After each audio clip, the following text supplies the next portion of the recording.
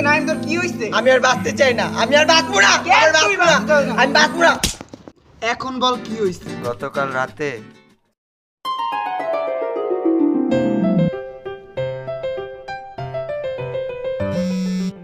ও sheet